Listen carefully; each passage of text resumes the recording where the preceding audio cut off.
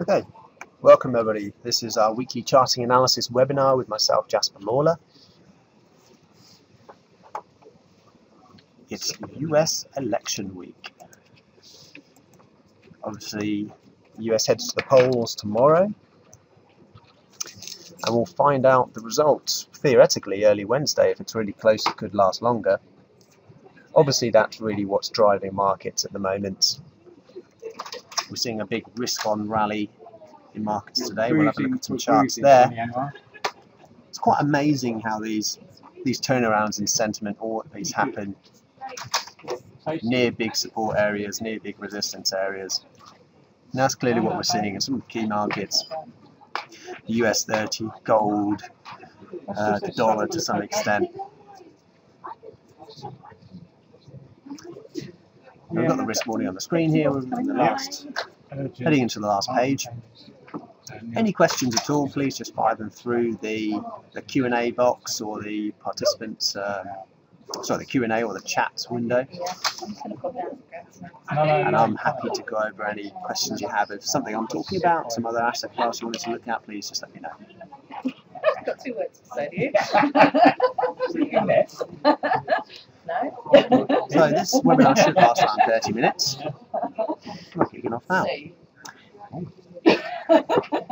Now, I think obviously, as I said, the, the US election is front and centre here. And we've had a few big Probably not, no. pieces of news. Obviously, the Fed recently, uh, non-farm payrolls on Friday, the Bank of England last week. Lots of stuff going on, but um, hard to get away from uh, from the US election. It's really driving sentiment as we run up into it. And we're expecting a big start for the US stock markets. Let's look at the US 30 here. Our proxy for the Dow Jones. And as I mentioned, crazy how these um, supports play out. So this was our, well, we've been in this tight range for what's pretty much um, a couple of months now. I thought the end of it, I didn't know. We had that, we were pushing into record highs, weren't able to make uh, much of a new high here, bit of a false break. Markets rolled over badly, but then just went sideways since. And it was that June, uh, September 12th low that- basically capped this this latest leg down and we've gapped higher and we've gapped above these various uh, various levels of resistance so now these are support on the on any pullback it's uh, it's very hard to call a direction here it's obviously just very contingent on the election result whether we break up or down out of this price range there's a downward bias according to this falling trend line uh, but the support has held. Should we get a move back into here, you know that that will be a um, high probability opportunity because we've got the downward trend line and we've got these series of peaks here. Uh, but should you know should the fact the fact that the market's got that high, you know obviously there's a there's a rising chance of a break higher. Uh, particularly, you know, when the result comes out, you can probably expect another kind of gap type move like this. It will be happening in the early hours in the US. Um, so it will probably be while UK markets are open. It could be just before they open on Wednesday. So in terms of open markets, probably gold and currencies are going to be the ones that are going to be able to immediately react. Obviously, through our platforms, you will be able to place a trade. Um, but uh, you know, they're the, the obviously the the Dow Jones is not actually open, so.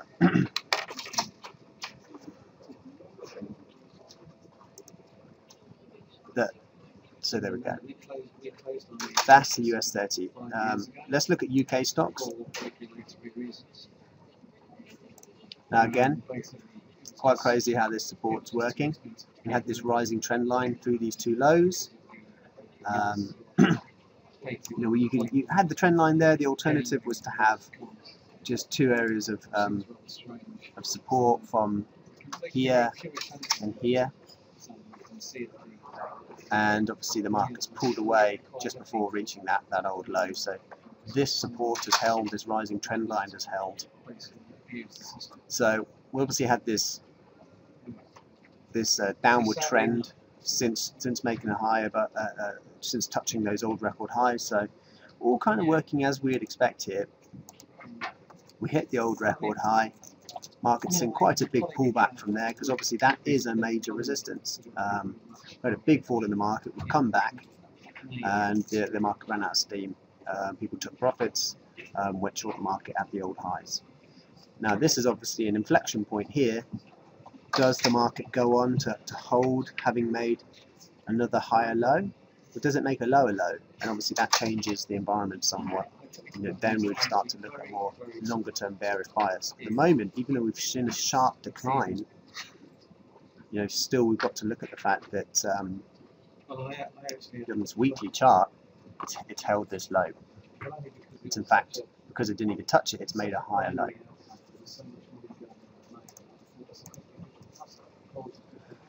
Looking on the shorter time frame charts, if we're looking for this rebound to continue, uh, you can see that we're running in some resistance here.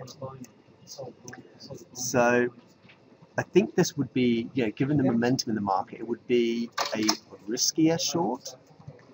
Or what, uh, you know, what would be a, I think having, with this trend line having held, and maybe again, if you are placing trades today or tomorrow, it you know, really, whether you like it or not, it's a trade on the result of the US election. If you think that uh, Hillary might clinch it, then there's bound to be a bit more uncertainty at some point. We don't know what the high is going to be yet, as in I'm just putting this line in. I don't know if this um, 6800 will be the high of today. We might still push a bit higher. But at the moment, you can see that our 61.8, 78.6, nice pullback zone sits right around 6100 and sits right in the middle of this this gap that we saw this morning. So should the market get back into there, you know, that would be for me a, a juicier spot for playing a, a Clinton victory and a, and a, further rebound in this UK 100. We might not get there is obviously the risk. If we do get there, we can break lower, of course. Um, but you know, it does look like a bit of market structure has been broken up here. We're taken above this short-term high uh, but we're looking at overextended. So maybe there's a scope for rolling over, and uh, we could see some further opportunity there. So, you know, I think the the way to to look at, you know, we've obviously seen a, a sharp down move. We've run into this um, area of long-term support. We've pushed up quite quickly, shown a lot of demand in this area taken out of the old high here, showing a bit of a shift in the market structures. And these are lower highs, lower lows. We've made a higher high. So where do we make, you know, where does the higher low come in? Um, you know, the 50% is going to be in and around here. Um, or we could maybe push into the 6100 again. Um, should we get a little sentiment wobble for some election type news perhaps? Maybe oil prices drop again, some prices lower. Um, there might be some opportunity presented in that area. And then obviously down below this long-term support, and then obviously we've got to change our game plan a little bit. That might be where uh, we'll decide to um, uh, decide to change our emphasis somewhat. So.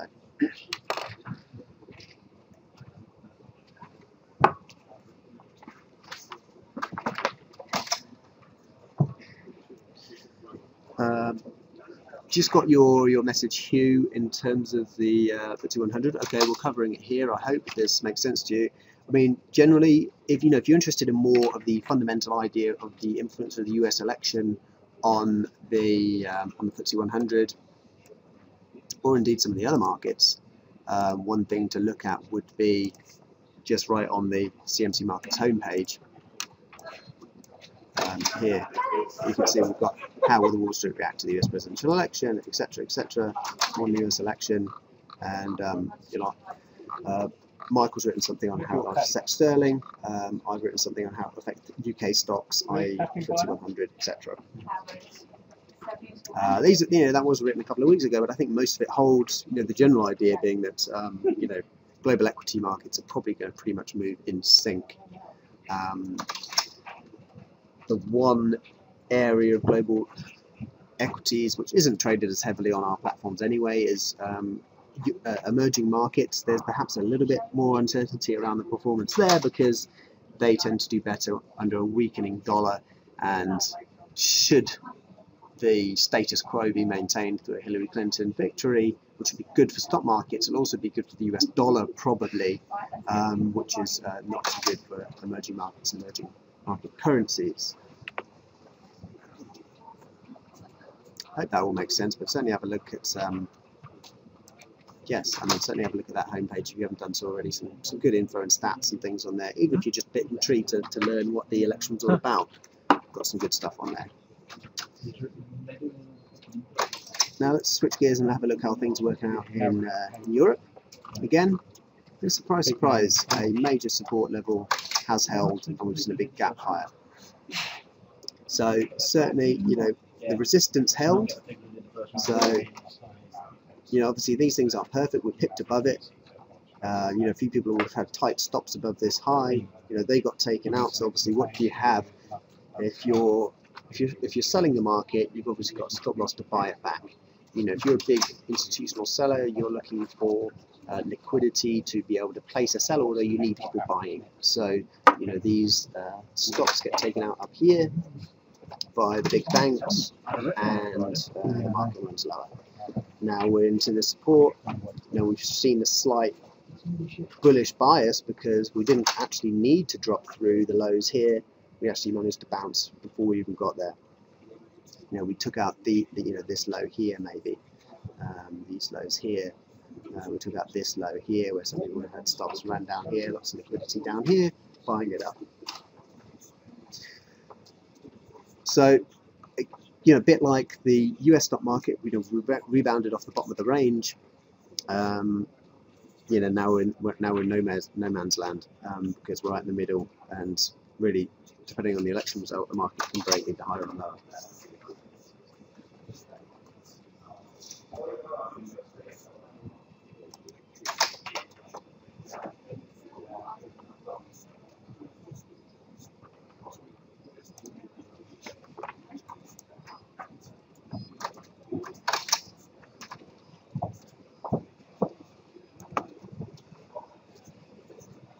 Okay, let's switch gears from equities to currencies. I was going a bit in depth into the euro actually. The euro again, another interesting example where the um, you know where a resistance level has worked out quite nicely. So okay, so we're, we're on the daily chart here. Um, you know, we look, obviously, I'm sure all very familiar with this chart.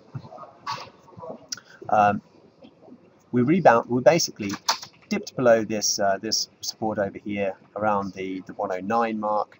Um, we've probably had a strong rally up above 111, but 111 into uh, 111.50 and this previous um, area of support have proved to be resistance and the market's dropped away. Again, these um, support and resistance areas aren't perfect, but you can see on the short time frame, this is clearly being respected. So again, market rolled over, some people would have got a bit enthusiastic and gotten short the market down here after this big down day.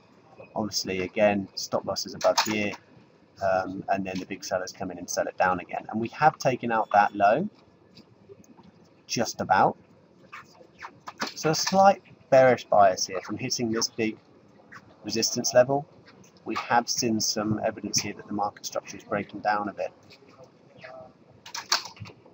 Equally on the um, the RSI, um, I would call that a head and shoulders pattern there on the RSI, um, indicating that we should see something akin to,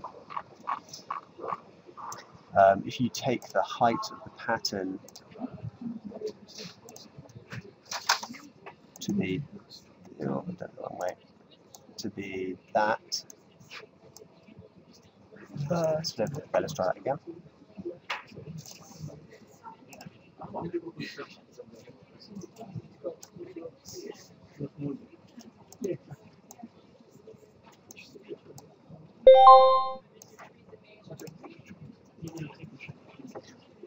If you take this as the height of the pattern, you know, you'd expect this is the 100% um, uh, extension down here, and it works out quite well with the 78.6% extension of this rally up from this particular low. So and in and around this old high. So this I would say is a bit of kind of cluster of support that the market potentially could be running down to, to test.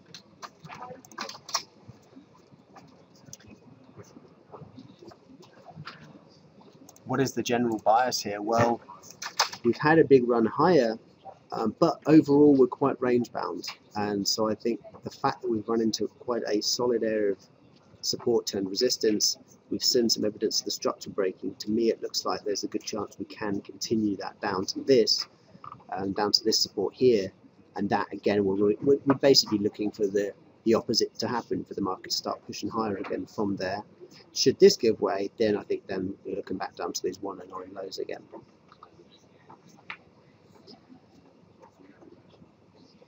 In terms of maids, you know, what can actually do that this week? Um, you know, in terms of uh, European news, um, we've got some industrial production data, but you know that's you know that's um, probably not going to be as significant out of the eurozone as it will be from the UK. Um, we have Chinese data, which can potentially wobble things a bit, but in terms of major marking European data, um, I would say there's there's probably not too much here in this week. Again, it's going to be the, the, the US election that probably drives sentiment for the remainder of the week. So, you know, I'd say probably what we're looking at here is um, Trump win, good for euro dollar. Um, Clinton win, negative for euro dollar, and you know obviously the same for the other currency pairs. So look at sterling. So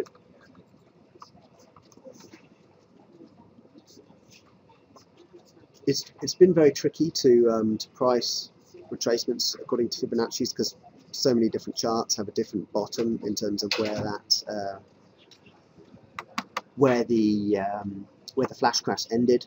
Arguably, the better thing to do is just to use the kind of the recent, more stable prices we've had as the um,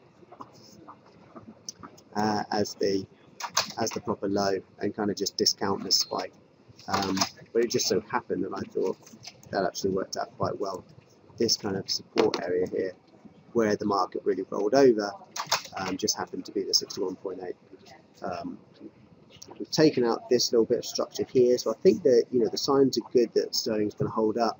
Um, a further, we're finding support from the round number at now at 124 um, on the four-hour chart. Nice little reversal candle here, a little hammer pattern.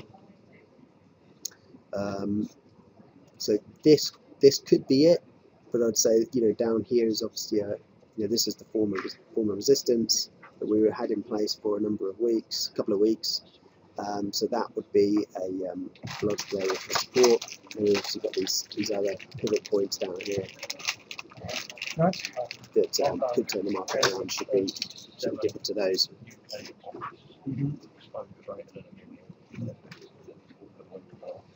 Right.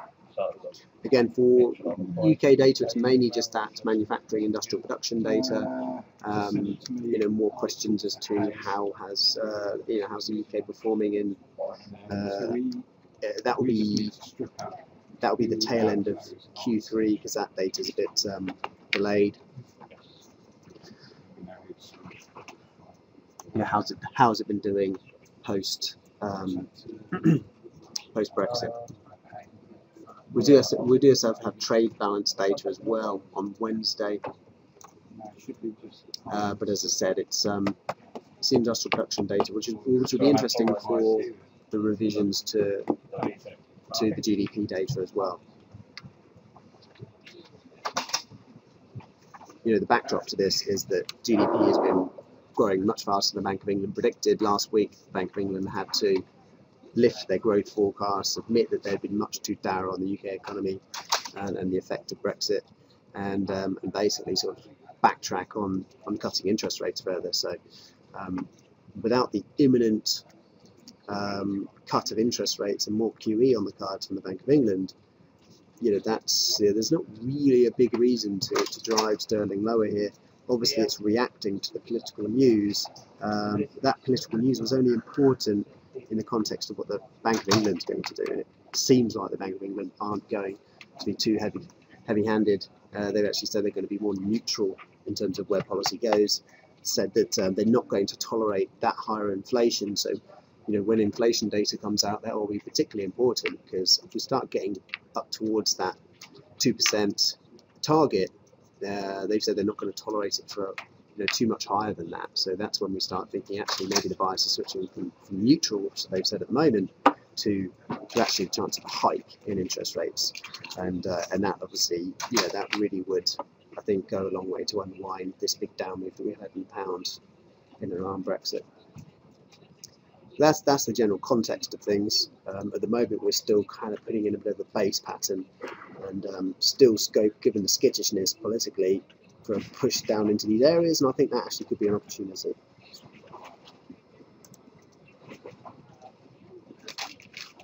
Let's switch to the yen. This will be, um, you know, uh, because of the sensitivity of uh, dollar yen to uh, to treasuries. This should be an interesting one to trade um, in and around the US election. And obviously, it's going the currency markets 24 hours. It's going to be open when we know the result. Um, I'm zoomed in on quite a short-term chart here. Uh, let me zoom out just to give that a bit more perspective. Um, here we are, this is a triangle pattern. We're, we're, we've been trying to break out and achieve the triangle objective, um, which uh, actually I forgot what it is. Let's draw it on again.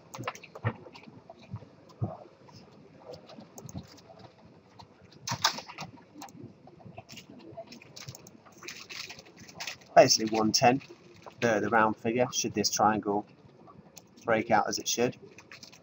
Almost on the money. Um, we broke down through the, the 20 period, uh, 20 day moving average, but we found support nicely at the 50. Uh, the, the 20 is still nicely above the 50. Um, I think kind of this uptrend should be intact and we're seeing that work out quite well. Um, not only the 50 day moving average, but again, if we drop down to maybe the 4 hour, you know, we can see it's this big reaction point here where we've seen the market work. So we saw a big drop down through it, but it wasn't able to be sustained. We saw a reaction back. And then that's when I had my um, short short time frame because we could see this is the drop down through this long-term area of support. We saw the market push up to it. Couldn't take out those old highs, but dipped down. Then it took out this high, showing a bit of a kind of change in structure. So if you take this low to this high, it dropped down nicely to the 61.8. Um, touched it, you know, pretty much precisely there, and we've rallied up through the 100% extension, which initially caused a bit of resistance up here, and we're up to the sort of 104.50 type handle now. So it, it's looking quite positive for dollar yen. Obviously, that's assuming a Clinton victory. Um, in the short term, you know, the election is going to kind of dictate whether this this this this trend can continue higher and break out up into to 106 and making its way up up here. You know, for for it to actually get there, you know, that's when we're going back to looking at um, the Fed and uh, the potential for a hike in December and, and the Bank of Japan and uh, all the rest of it.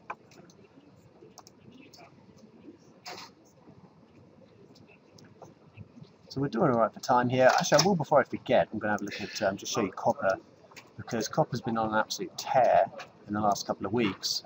This is our daily chart. um, you know, here was the bottom of the range down here. We never got to that. The, the sort of interim support held up. So you can see, here's the swing low here, swing low down there, and um, you know, when the market came down, didn't didn't even need to break through it again. It's just whooshed up higher. But this this again, even though obviously we we've gone up almost vertically from 210 up to 230, and a, a really nice move. Um, you know, here we're in the resistance zone again, so we're seeing a, the beginnings of a pullback. Um, so this is an area which carries some sort of potential for opportunity. So, you know, have a look what's happening. Um, first signs of a breakdown on the hourly chart here.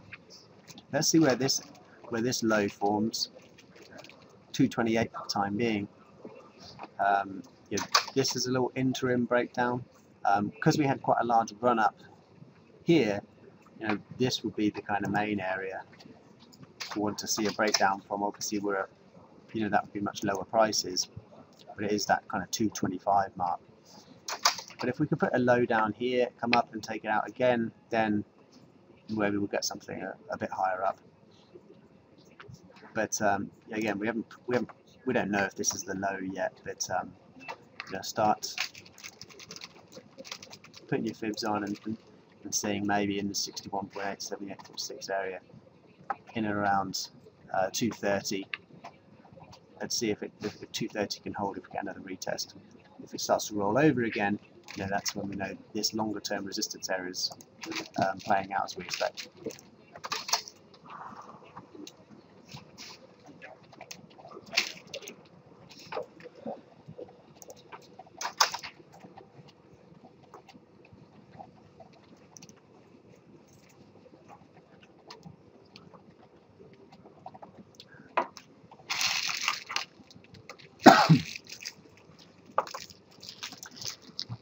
Go straight to, to, to gold just because again if you're not if you're not trading currencies I would say gold would be one of the other ones to play in and around the, the US election. We've got a report on um, on the possible effect of on gold but it's pretty straightforward isn't it? I mean gold is a safe haven. Trump source of instability um, Clinton not potentially as much. And so you know general idea being here that is that gold is selling off um, because of this FBI news from yesterday that uh, they, you know they basically let Clinton off the hook um, for, for her emails again. And so it was that um, new FBI probe that had swung the polls back in the favour of Trump. Now with a couple of days to go, the FBI is saying, well, there's nothing to worry about those. So that theoretically positive for Clinton. And again, another example where you know this this move higher in gold has, has had more legs than I expected it to have. We've got the 61.8% on the chart, but um, you know I thought maybe it would roll over but before that, uh, but it hasn't done.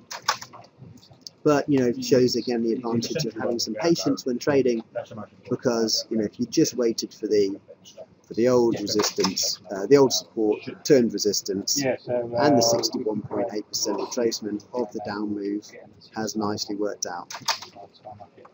Um, and it's all working quite quite nice technical fashion because the market's now found support just below that low here at the old high. So first signs of, uh, of a rebound. Should we get through this low? Now I'd suggest that this high here that you can see on the, the daily chart was the first swing in this kind of price range here. In and around the 1275 mark. So it's 1285, it's kind of holding us up at the moment, 1275 on another move lower. See if the, see if the done numbers right. So, those numbers, page 10. Um, you know, this was a big dramatic move down in gold, and we basically traced that, having come into this fairly substantial area of support at 1250. So, you know, again, depending on the election result, you know, if Clinton gets in, the the next reading from that is okay, US election sort of out of the way, uh, monetary policy, oh, okay, back to expecting a rate hike from the Fed in December. You know, data in the US has looking been looking fairly fairly decent, so you know maybe you can expect them to start hiking a bit more frequently next year. Um, that that would be a bad thing to gold, and um, you know see gold move back below 1250 again. So this this could be the beginnings of that. So obviously you missed that initial move lower, uh, but if we do uh, if we do get a pullback, and again, a bit like if you're planning a, a long on the stock market or a long on the dollar, short euro, um, you know, if you're expecting a Clinton win, you know, look for a retracement into the gap for potentially the market to, to roll again. And we'll just round things quickly off here with oil. There's been a uh, there's been an earthquake in uh, Oklahoma, so that's supporting oil prices, and lo and behold, it's happened just as we've hit a significant support area at the 45 mark on Brent. You know, I pointed that I put this very simple chart out on Twitter on Friday, just saying that um, Brent is a key support, um, and uh, you know had a little run through it, and, and it's starting to show signs of holding it. Um, that's not to say this sport necessarily is going to hold up for too long.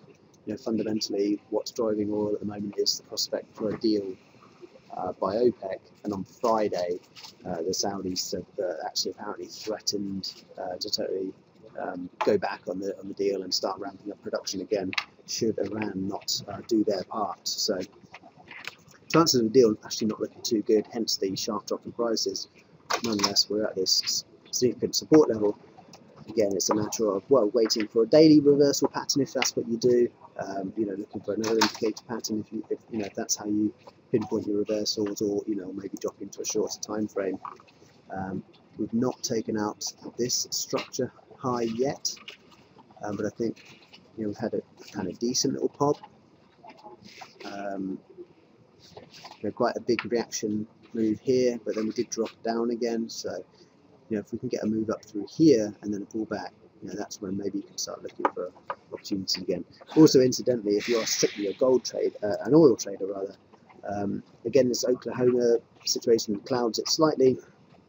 Maybe the market bouncing off of uh, um, support and and uh, all the rest of it. But what I think we could probably say is that um, oil is reacting more to a risk-on environment um, at the potential of a Clinton victory than it is to um, than it would be because uh, gold oil is moving higher today. Um, if it was reacting purely to the dollar, which is also higher today, then oil should obviously theoretically be lower. So um, it looks like oil reacting more on reacting more to the kind of risk-on environment rather than the dollar environment. Should Clinton get in? Clinton get in looks like should be positive oil. Fake Trump get in should be negative oil. If um, today's price action is anything of any guide. But I think that's it. Um, yep, should be a very interesting week. These, uh, you know, the US election only comes once every four years. Um, we've got plenty of information on that hub page, as I mentioned. Um, so let's let's see how it all pans out, and uh, I will talk to you at the same time next week to discuss it. Uh, thanks very much. It's Jasper signing out.